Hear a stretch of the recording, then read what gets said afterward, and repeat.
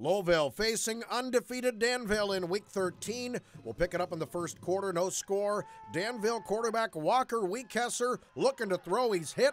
The pass is picked off by Lowellville's Josh Pazel, and the Rocket defense coming up with the big play there. Still scoreless, Danville at the seven yard line, and Aiden Burke races up the gut for the touchdown. The two point conversion made it 8 0 Lowellville on the short end. Later in the first, fourth and one at their own 14.